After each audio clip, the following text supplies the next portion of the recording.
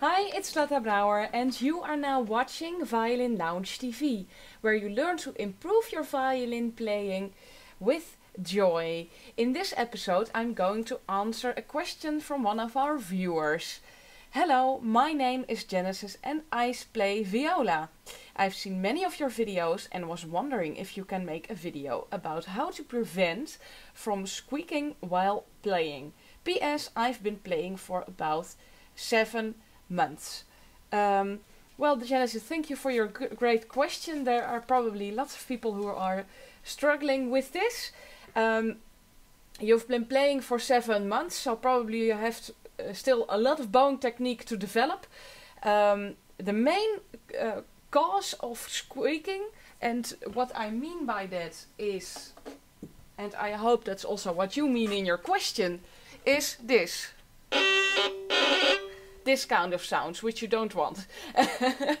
um, the problem is that um, it's a combination of too much pressure and uh, too little speed. So, for example, if you do exactly the same as this, but you use a lot of bow, then you don't get it. If you do exactly the same like this, but you don't push the bow so much, then you get with the same tempo no squeaks.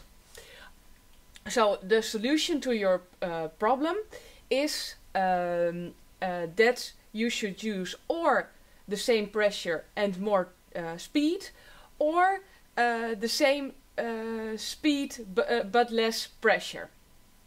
Okay, then I will also tell you something about two things lots of beginner players um, do uh, wrong is that um, uh, the first thing is that uh, they start bowing like uh, they would drive a car for 10 meters, for example.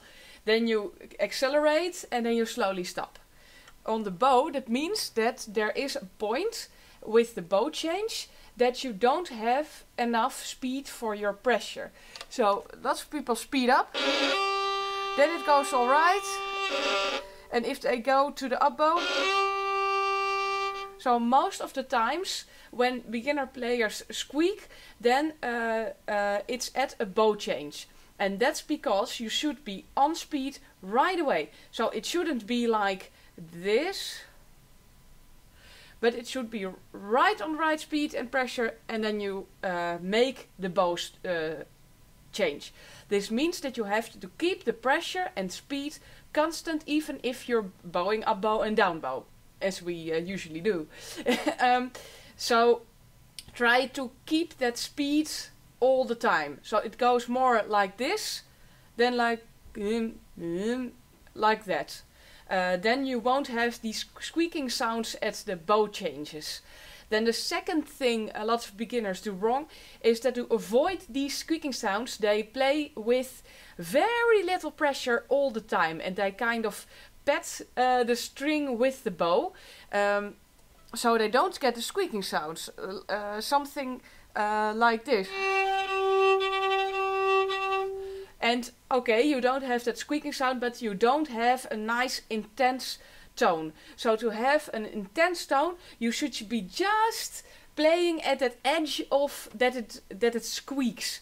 Um, so that you have some pressure, that you hold back the speed of the bow. So don't just wipe over the string like because then you also get these uh, whistling uh, tones.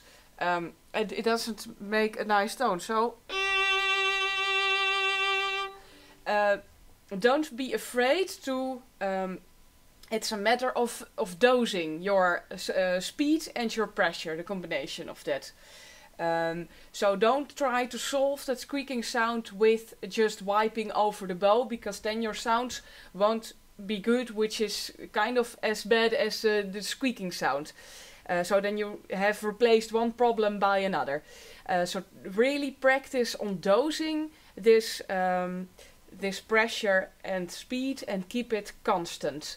Uh, only change it to color tone and um, uh, for musical purposes and not for um, avoiding problems pur pur purposes, if you know what uh, what I mean by that. I hope I've answered your question. If you are watching this video and you like this video, then please like it and share it with your friends. If you'd like to receive more valuable and actionable violin tutorials, then please subscribe at my website violinlounge.com and you can receive two free gifts from me.